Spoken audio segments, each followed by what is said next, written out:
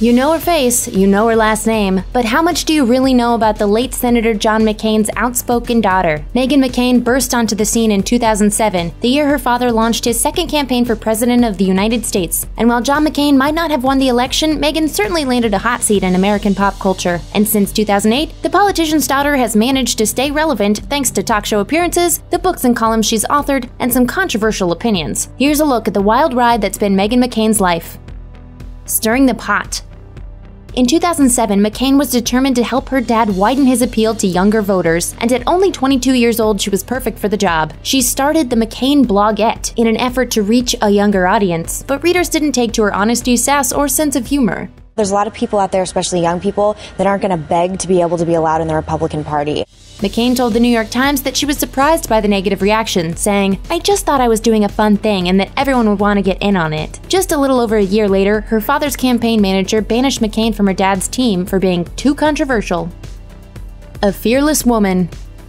In addition to being a political commentator, McCain is an author three times over. She published her first book, My Dad, John McCain, in 2008, just months before the historic election, and her second book, Dirty Sexy Politics, was published two years later. Finally, in 2012, McCain teamed up with actor and comedian Michael Ian Black to publish America, You Sexy Bitch, a love letter to freedom.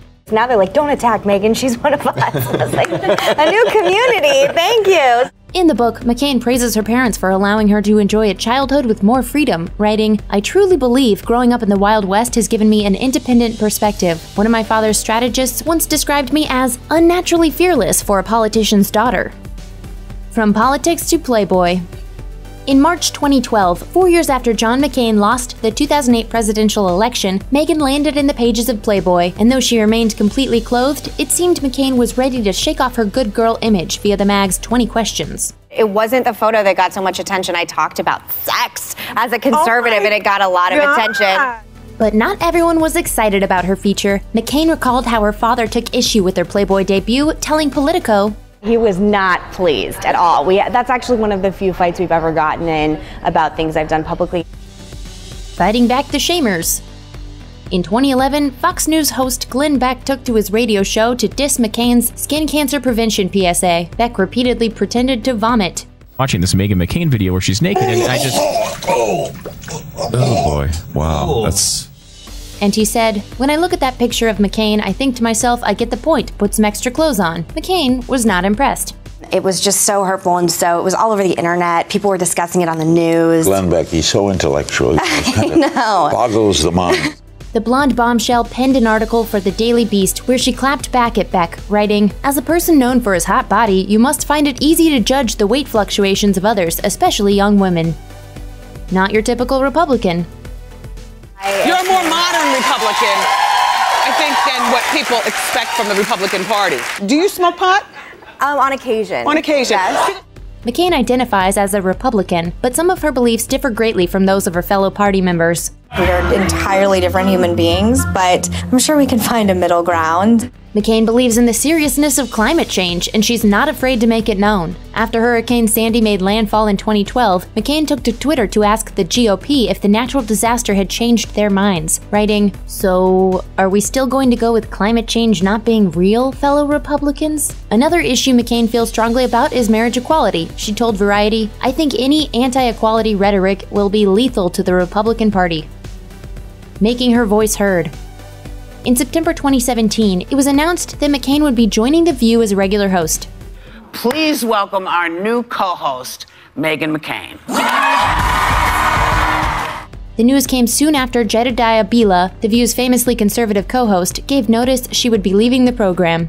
This is still a different incarnation of the show, and I think I'm sort of a different incarnation of conservatism. Since joining the talk show, McCain has certainly made her opinions heard. In February 2018, McCain found herself up against co host Joy Behar over John Kelly's reported knowledge of White House aide Rob Kelly's alleged spousal abuse. Laughing at him being shocked. It's not, it's very serious. Well, look, and as a Republican, I am offended. As a Democrat, the- I'm offended by Republicans. Similarly, in May 2018, McCain caused her co host's tempers to flare when she used Michelle Wolf's Correspondents' Dinner speech as an example of how conservatives are unfairly bullied by the media. I would like to say the pause line for what I mean, again, like, I just feel like sometimes you just want to line up conservatives and throw grapefruits at us. losing her father.